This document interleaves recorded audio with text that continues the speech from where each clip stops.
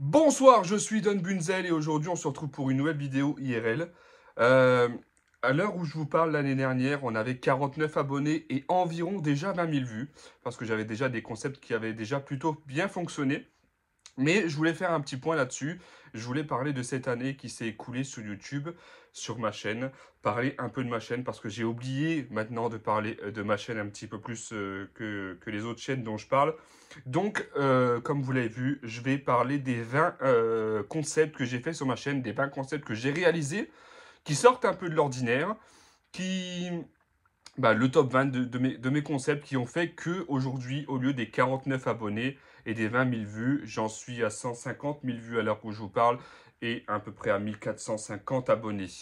Donc, euh, je vais commencer, on va passer assez vite parce que la vidéo va être un petit peu longue, donc je vais essayer de passer assez vite sur euh, certains concepts et on arrivera euh, à la fin et je vous, je vous reparlerai de tout ça.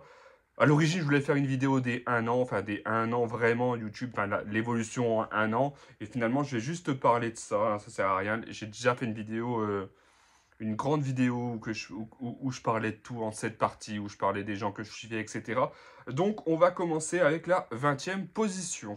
20e position, du coup, hein, c'est pas non plus le concept révolutionnaire, mais j'avais fait, euh, pour ceux qui connaissent le jeu Worms, enfin les jeux Worms, la saga Worms, c'est un ancien jeu, euh, un ancien jeu qui marche toujours aujourd'hui, mais qui était vraiment un des jeux d'exception euh, à l'époque, euh, il y a quelques années de ça maintenant, hein, sur PlayStation 1, sur PlayStation 2 notamment. Et eh ben j'avais repris le jeu de Worms et, j'avais fait des combats entre bah alors, j'avais fait des combats entre les célébrités, par exemple, j'avais j'avais sélectionné 8 blondes, euh, 8 brunes et je les avais fait combattre pour voir qui gagnait entre les blondes et les brunes.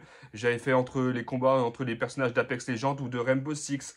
J'avais fait également des combats entre des youtubeurs que j'aimais bien. Donc vous pouvez voir les youtubeurs que j'aimais bien à l'époque, c'est toujours les mêmes, vu que je suis très très peu de youtubeurs d'ailleurs. Et, euh, contre les, personnages de la mythologie grecque, qui est une de mes passions. Euh, j'avais fait également euh, des, nations qui s'affrontaient, donc France, Espagne, tout ça, avec un gros combat. Enfin bref, c'était un des premiers concepts que j'avais fait sur ma chaîne, c'était avec Worms. J'avais créé tout ça, tous ces personnages, tous ces Worms, tous ces, tous ces pays et tout ça, pour faire ce concept, donc je l'ai mis en 20e position. 19e position, c'était la carrière euh, Football Manager, pareil à l'époque. Alors je ne commentais pas, je ne parlais pas sur cette vidéo, tout comme celle de Worm. C'est pour ça qu'ils sont un petit peu en bas du tableau, parce qu'à l'époque je ne parlais pas sur les vidéos. C'était surtout pour moi et pas pour, pas, pour les, autres, pas pour les abonnés. Donc j'ai fait une carrière dans Football Manager avec des pays. J'avais pris la Suisse et la Norvège. Mon objectif c'était de leur faire gagner la Coupe du Monde, leur faire remporter la Coupe du Monde de football. Je l'ai réussi bizarrement, je ne sais pas comment, c'est la, meilleure carrière que j'ai fait de ma vie sur Football Manager d'ailleurs. Et euh, voilà, j'avais fait ça, j'avais emmené la Norvège jusqu'à la, Coupe du Monde. Euh, voilà, c'était tout, c'était le 19e euh, concept. 18e concept, encore avec Worms, parce qu'à l'origine c'était beaucoup avec Worms. Et c'est comme ça que j'ai commencé à me dire, en fait, ben, alors j'ai toujours, on va dire, critiqué un peu ma chaîne parce que je ne suis pas sur les réseaux sociaux, que ce soit Instagram, Twitter, Facebook, TikTok, même si maintenant, voilà, ça va arriver. Euh, Instagram, même si je poste maintenant, du coup, mes miniatures, mais vite fait. Enfin bref, je ne connaissais pas les réseaux sociaux, j'étais très peu sur YouTube. Donc du coup, je me suis toujours dit, je mérite pas autant de vues que, euh, que, ma chaîne fait. Et il y a beaucoup d'autres youtubeurs. Je me suis renseigné un peu sur les petits youtubeurs. Et j'ai vu que eux bah, méritaient beaucoup, beaucoup, beaucoup, beaucoup leur succès parfois. Enfin, ils n'avaient peut-être pas assez d'abonnés par rapport au succès qu'ils méritaient. Et du coup, j'avais décidé de faire un autre concept à l'époque qui était donc toujours avec Worms. Mais au lieu de créer des célébrités dans Worms, j'ai créé des petits youtubeurs et je les faisais s'affronter. Euh, donc, alors, vous pouvez voir, donc, alors, hop, vous pouvez voir à l'époque euh, les youtubeurs que je suivais, les petits youtubeurs que je suivais. Euh, il y en a beaucoup qui ont disparu. Hein. Il y en a beaucoup qui ont arrêté ou alors il n'y avait plus de contact avec eux. Mais à l'époque, voilà, c'était certains youtubeurs que je suivais, même si certains sont encore là. Et donc, c'était mon premier concept de publicité avec les petits youtubeurs et c'était sur Worms. 17e concept, là c'était juste une vidéo que j'ai faite juste une parce que quand j'ai fait les, petits youtubeurs, là quand j'étais en train de vous parler pour le 18e, je l'ai fait en trois vidéos. Il y a eu trois vidéos sur les, Worms publicités on va dire. Donc 17e c'était juste une vidéo vite fait, c'est les euh, célébrités que j'ai rencontrées dans ma vie. Que ce soit des hommes politiciens, que ce soit des sportifs professionnels, ou que ce soit donc, euh, bah, il faut aller voir la vidéo, mais euh, la vidéo dure pas très longtemps en plus, ou que ce soit une grande célébrité française, une des plus grandes célébrités françaises, sans être une célébrité que j'ai rencontrée, et même plus que ça d'ailleurs, parce que je parle de ma vie sur cette vidéo, je parle de ce que je faisais, Et la célébrité que j'ai rencontrée est assez dingue en vrai. Enfin, dingue de se dire tout ça. Donc, euh, voilà, mais j'avais pas trop aimé la vidéo. J'avais mal fait la vidéo. Je pense que j'aurais pu la faire mieux. C'est dommage. Mais en tout cas, voilà, célébrité, 17ème célébrité que j'ai rencontrée. 16e meilleur concept sur ma chaîne, c'était un jeu. Alors, j'ai toujours été fan des jeux de survie. Et euh, mon jeu de survie préféré, ça a toujours été Seven Day to Die. Alors malheureusement, Seven Day to Die, pour ceux qui connaissent, euh, sur PlayStation, il est bof. Et sur PC, il est exceptionnel. Moi, je l'ai toujours joué sur PlayStation.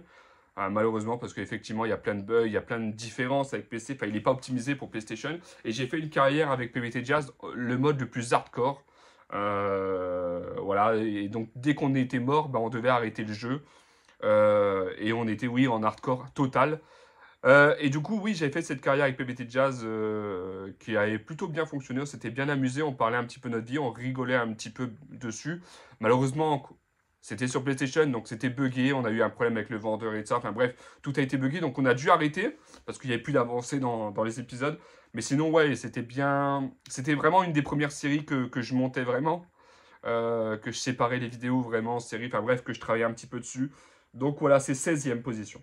15e position, eh ben, c'est une vidéo encore, et c'est ce que je parlais tout à l'heure. C'était la vidéo que j'ai fait en face cam. C'était la première vidéo face cam réelle que j'ai faite et surtout ça expliquait en fait mes un an sur YouTube. Parce qu'en vrai, euh, j'ai commencé sur YouTube le 3 avril 2021. Donc le 3 avril 2022, j'ai fait une vidéo en face cam où pour la première fois, je faisais vraiment de la pub pour ma chaîne YouTube. Donc c'est la première vidéo où j'ai essayé de faire de la pub, de parler à des copains que je connaissais, euh, d'envoyer euh, le lien. Et enfin bref, c'est là que tout le monde a su que j'étais sur YouTube, donc au bout de un an, donc le 3 avril 2022. Donc j'aurais fait énormément de pubs pour cette euh, vidéo, pour les, les, un an de ma chaîne YouTube. Euh, même si en vrai, je me suis concentré sur ma chaîne YouTube qu'au mois d'octobre-novembre. Hein. La preuve, en novembre, j'avais que 49 abonnés. Euh, enfin, fin novembre, donc début décembre, j'avais 49 abonnés. donc du coup, oui, c'était ma vidéo que j'avais le plus travaillé à l'époque. Cette vidéo des un an, c'était en face cam, donc il a fallu parler comme ça avec vous pendant 50 minutes, presque une heure. Euh, j'avais fait un gameplay aussi, j'avais fait, enfin bref, j'avais fait énormément de choses dans cette vidéo. Je remerciais les youtubeurs que je suivais. Euh, je parlais de, de, tout ce que j'avais fait sur YouTube, vraiment. Ça, c'est une, une, vidéo pépite, donc euh, celle-là, même si elle est 15e, parce que ben, c'est qu'une seule vidéo. Et, mais voilà, je voulais en parler aussi de celle-là. 14e position, eh ben, c'était un petit concept que j'avais fait, une série de 4 vidéos. Quel est mon jeu préféré sur PlayStation? Donc j'avais commencé PlayStation 1, 2, 3, 4 ou plutôt 4, 3, 2, 1, enfin bref. Euh, donc j'avais fait quel est mon jeu préféré, par exemple sur PlayStation 4. Je listais 48 jeux de PlayStation, même plus que 48 parce qu'il y avait un barrage, enfin bref. Euh, j'avais une soixantaine, 64 jeux à peu près de PlayStation, on va dire. Enfin, ça dépend euh, quel, quel, quelle vidéo. Mais en gros, je sélectionnais plusieurs dizaines de jeux de PlayStation sur la console là, donc par exemple PlayStation 4. Et je disais quel est mon jeu préféré dans un tableau comme un tournoi de tennis, si vous voyez comment c'est le tournoi de tennis. Donc je faisais s'affronter euh, deux jeux, par exemple, quel est mon jeu préféré entre A Way Out et Until Dawn? Et euh, après, il passait au deuxième tour, le gagnant, puis au troisième tour, puis en finale, etc. Donc il fallait toujours choisir entre deux jeux.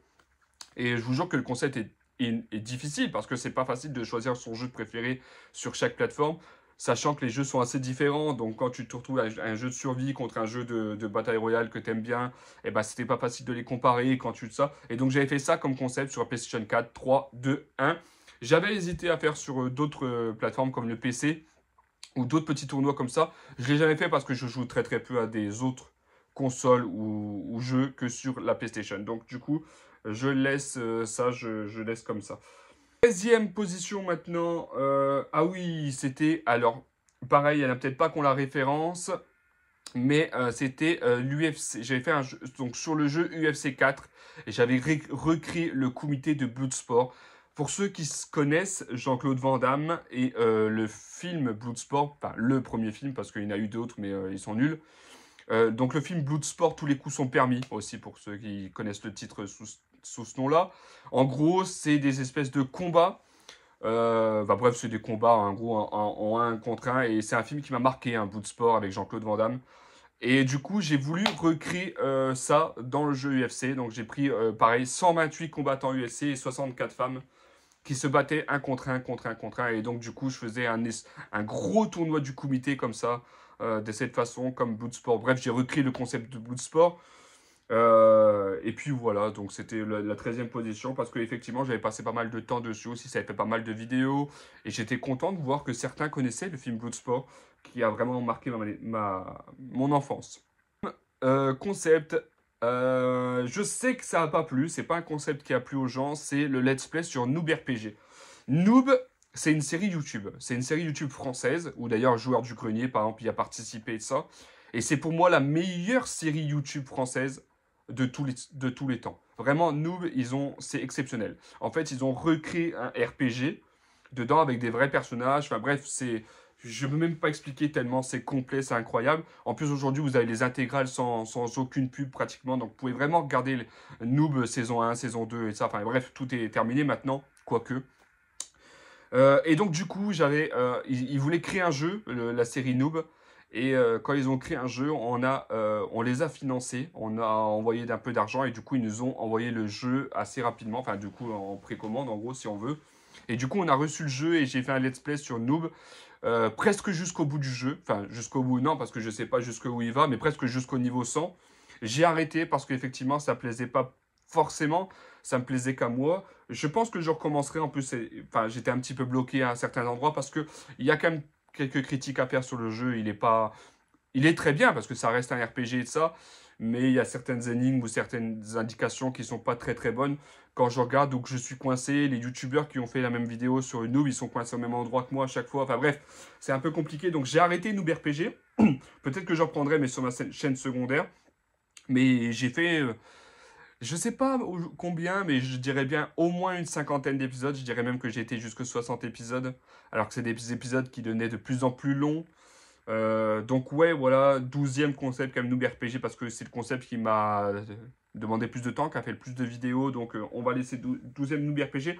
Mais vraiment, si vous connaissez pas la série Noob sur YouTube, allez regarder en vrai. Si vous aimez les jeux de RPG, si vous aimez les séries et ça, c'est une française, ça, faut vraiment les, aider. Enfin bref, c'est exceptionnel cette série, incroyable.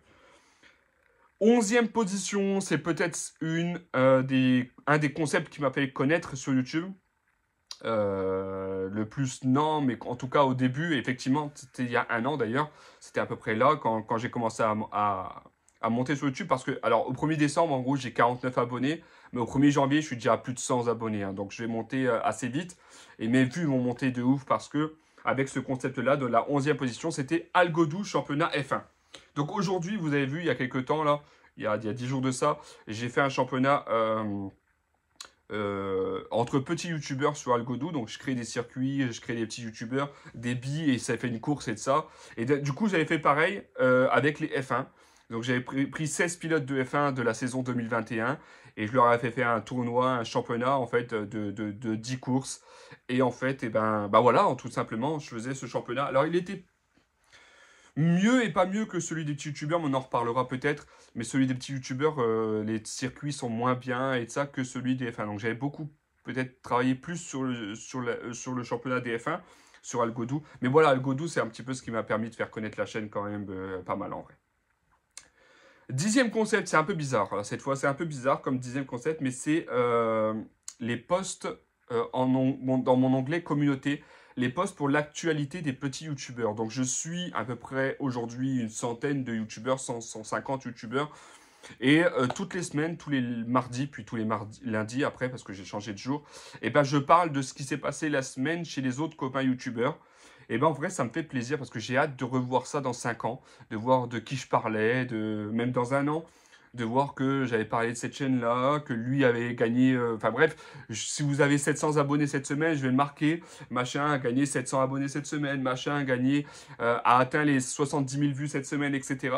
Donc je parle de ça, et c'est vrai que ben, on le voit très très peu chez les gens, l'actualité des petits youtubeurs.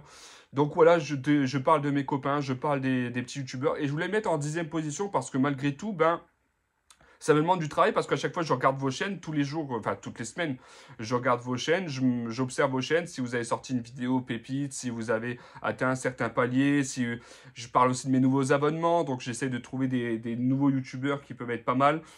Euh, j'aime bien, comme j'avais fait avec euh, des copains Mathieu, avec Vivbi et de ça, aussi, euh, regardez, je marque live FR sur YouTube le soir et je regarde qui c'est qui est en live je, vais leur parler pour voir un petit peu s'ils sont cool. Bon, euh, la plupart du temps, ils sont pas top top. Hein.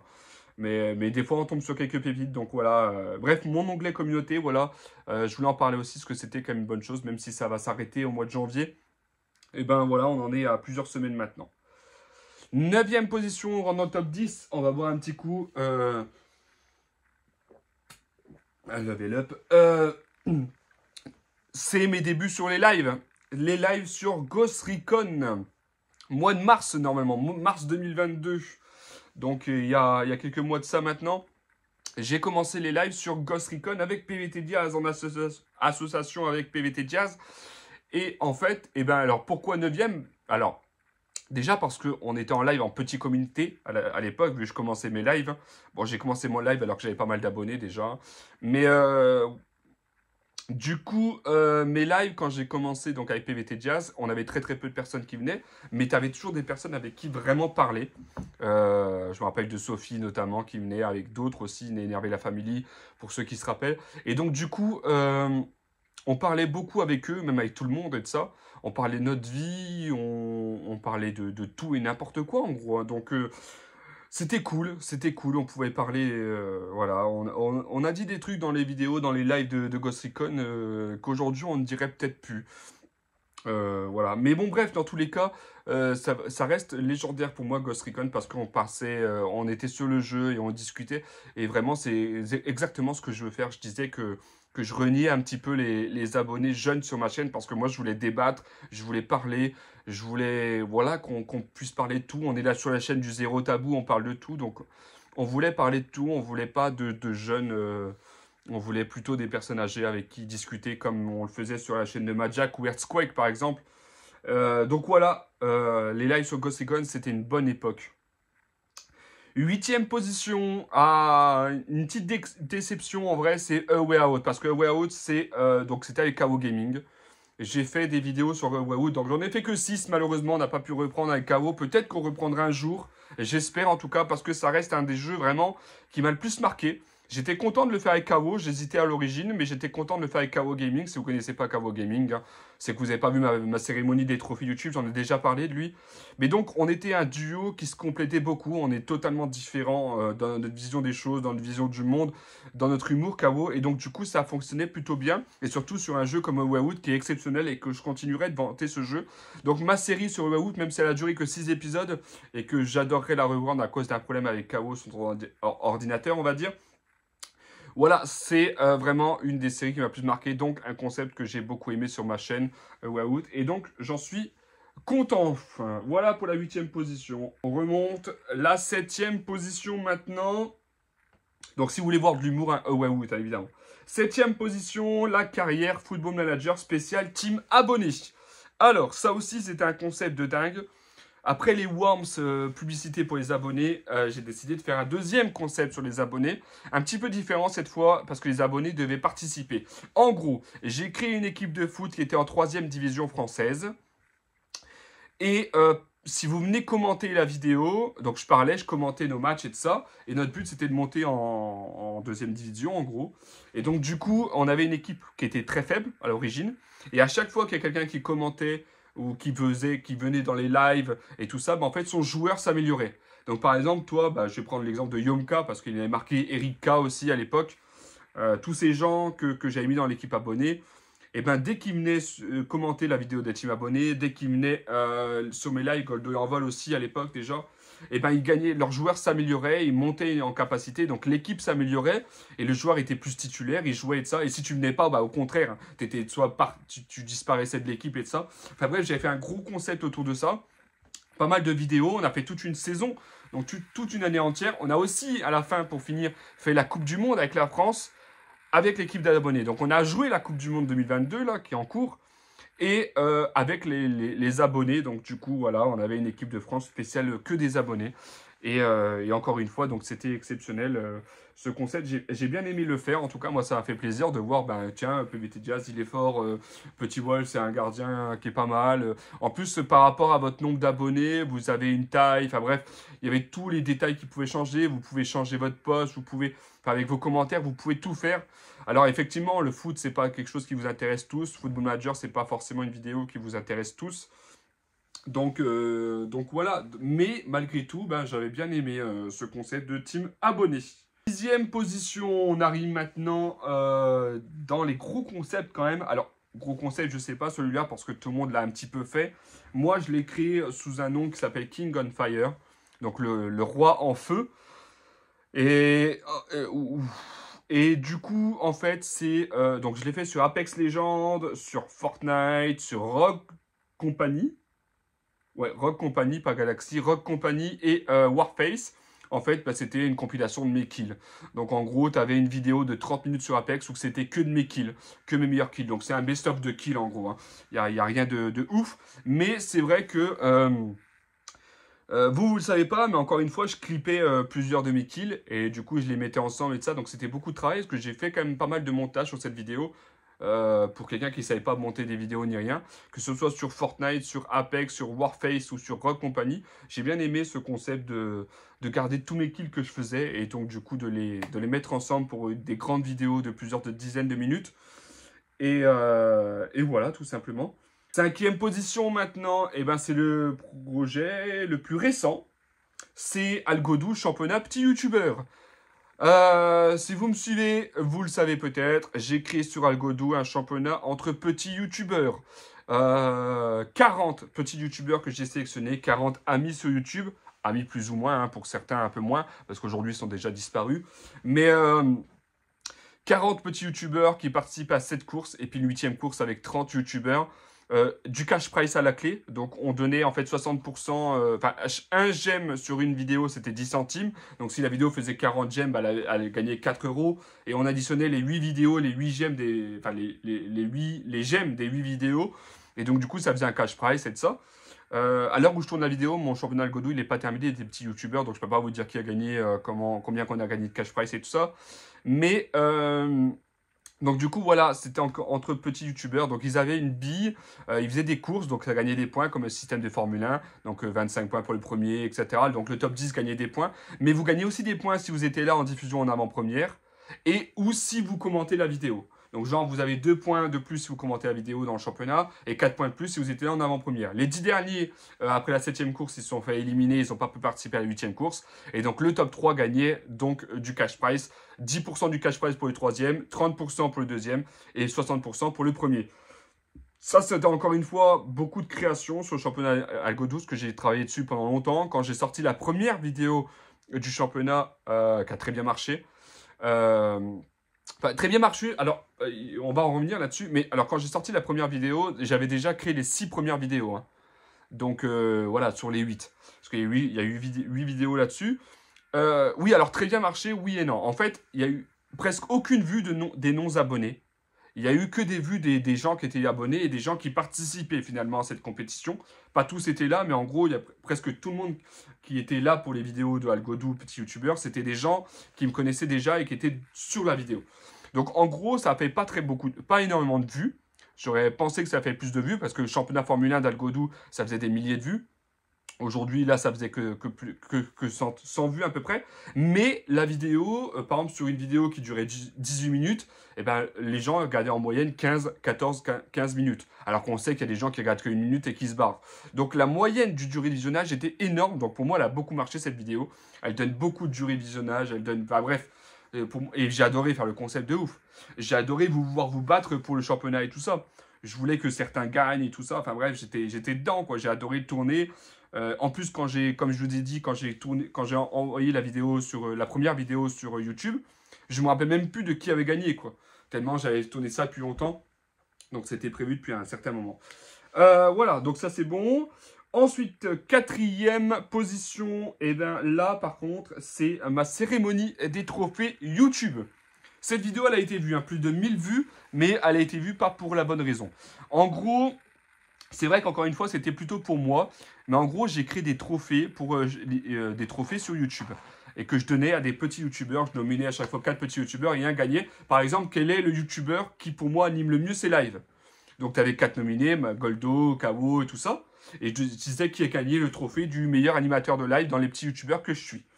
Donc évidemment, pas le droit d'être un gros youtubeur. Hein. Moi, je suis que des petits youtubeurs. Je dois donner la force que aux petits youtubeurs.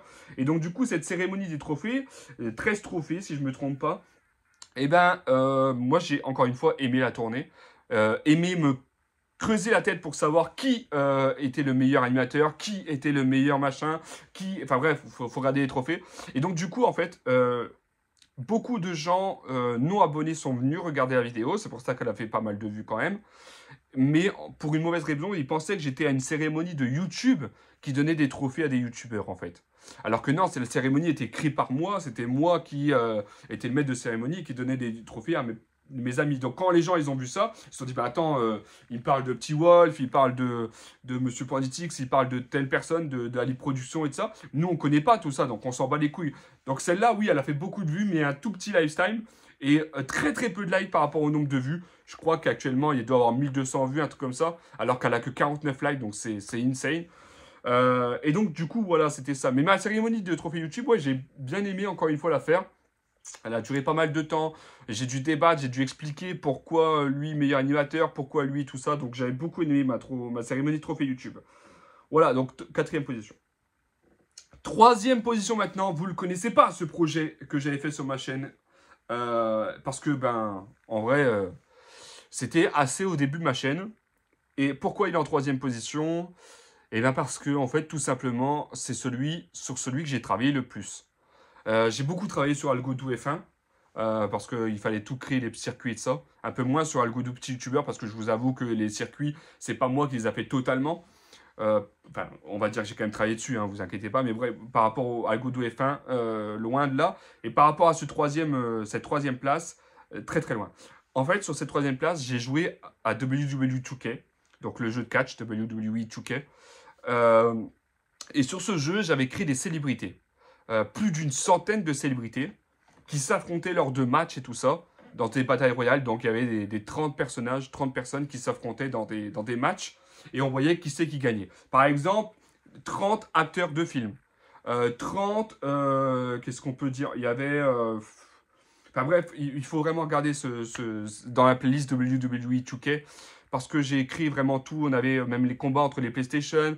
On avait donc, si vous voulez voir Will Smith qui affronte Vladimir Poutine, qui affronte Sylvester Stallone, j'ai même fait les 30 personnages de jeux vidéo. Donc, vous avez Snake, vous avez euh, euh, des, gens comme Mario euh, qui s'affrontent, les Tortues Ninja. Enfin, bref, j'avais vraiment tout créé, tout ça.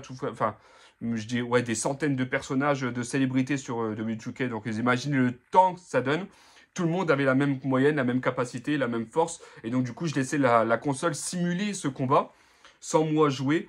Et euh, malheureusement, j'ai pas commenté. J'ai pas commenté, j'ai posté les vidéos comme ça, parce que c'était à l'époque, c'était ça, date maintenant. Donc presque personne connaît le, concept. D'ailleurs, ça m'avait donné un petit peu coup de mou sur YouTube en vrai. Parce que quand tu vois que tu fais une vidéo qui est dégueulasse comme Squid Game sur Algodoo, qu'elle fait des 23 000 vues, alors que celle-là, elle fait les vidéos comme ça de YouTube, elles font peut-être même pas 100 vues, 80, 90 vues alors que j'ai travaillé des heures dessus.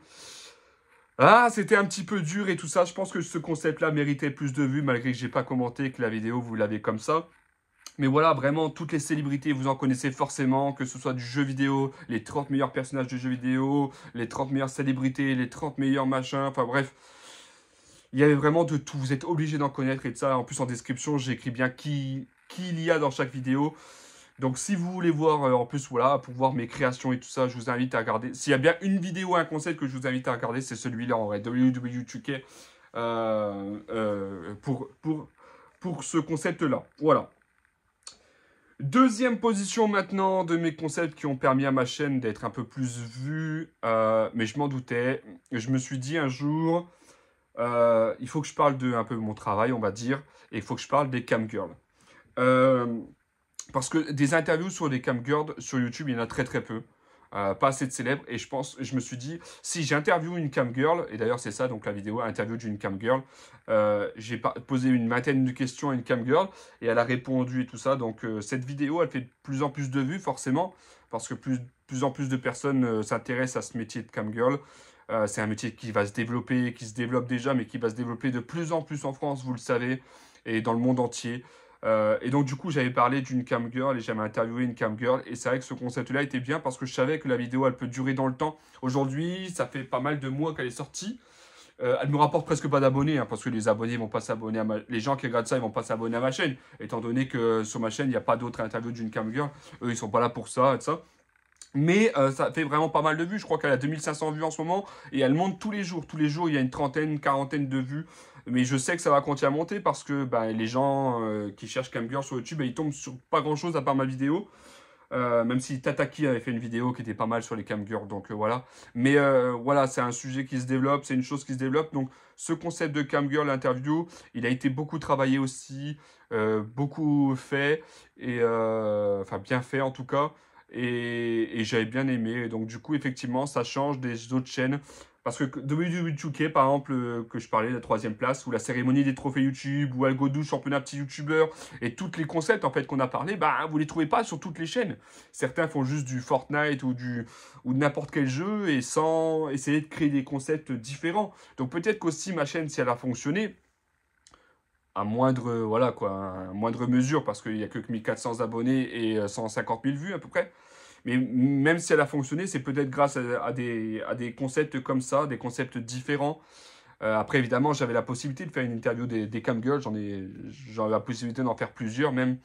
Mais voilà, dans tout, euh, vous l'avez peut-être pas. Mais voilà, il y a peut-être des projets à créer. Il y en a qui me demandent comment tu as fait pour avoir autant d'abonnés, autant de vues en un an? Ben, en vrai, voilà, créer des projets, créer des concepts qui sortent de l'ordinaire, tout simplement. Même si c'est pas donné à tout le monde, encore une fois, vous ne pouvez pas faire l'interview de camgirl, vous, c'est comme ça. Mais bref, il y a toujours une possibilité de faire certaines choses et tout ça, comme WWE 2K, qui était donné à tout le monde si vous avez le jeu.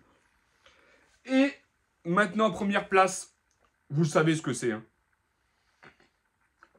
C'est ce qui a permis à ma chaîne d'être encore plus connue, de regrouper une vraie communauté et surtout de pratiquement vous connaître presque tous. Quand on regarde le championnat Godou, petit youtubeur, beaucoup viennent de ce projet, vous allez voir. Beaucoup, je le connais grâce à je les connais grâce à ce, grâce à ce projet. Bref, la première place, elle est pour le tournoi Cash Price Rocket League ou les tournois Cash Price Rocket League. Pour ceux qui ne le savent pas, mais il y en a très très peu maintenant. J'ai organisé euh, des trois tournois Rocket League avec du cash price 185 euros à chaque fois, donc plus de 500 euros de données dans les cash price Rocket League.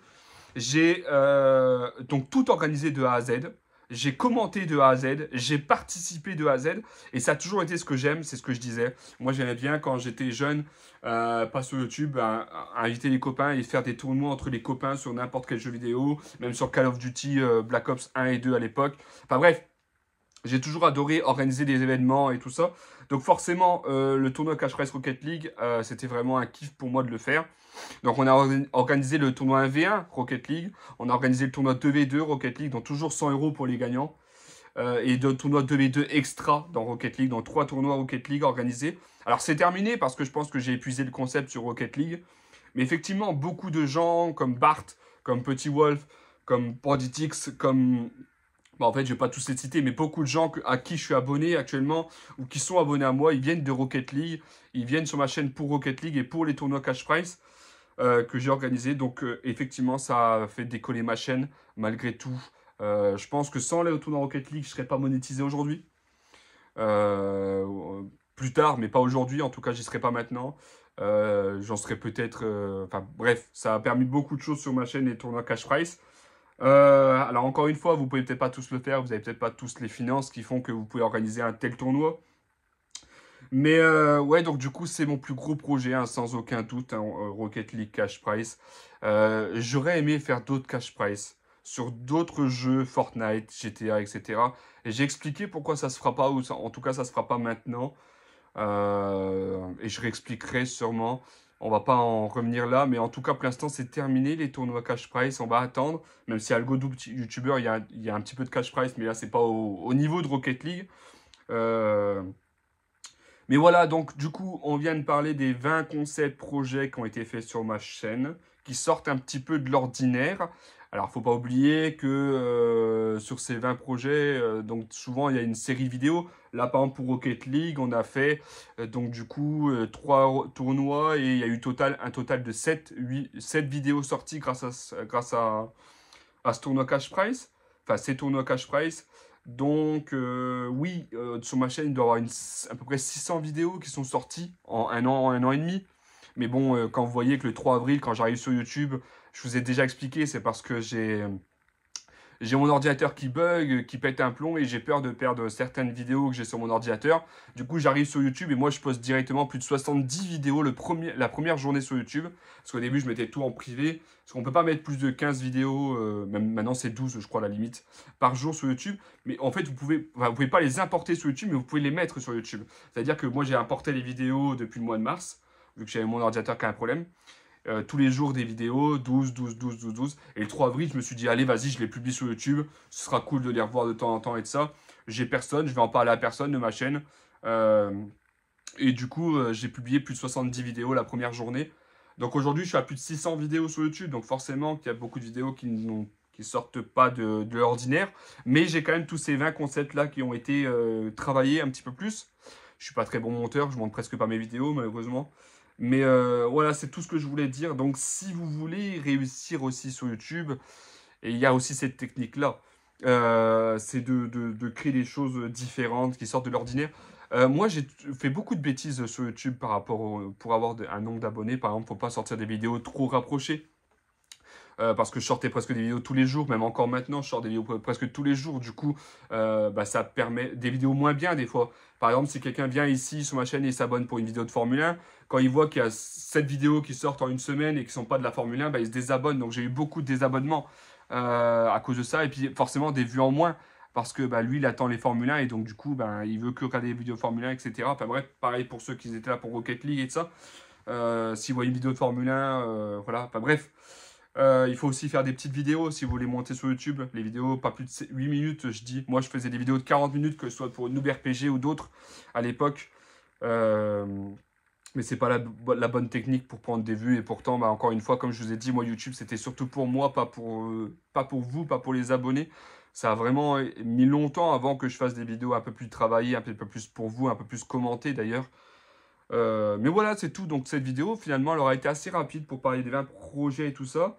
Euh, je voudrais dire un petit truc en plus. Euh, oh non, on va laisser comme ça. Hein, ça sert à rien de, continuer. C'est bien 37 minutes.